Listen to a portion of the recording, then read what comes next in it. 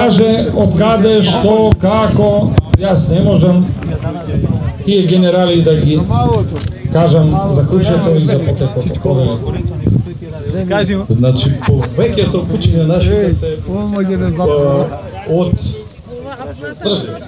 Сите нека луѓе да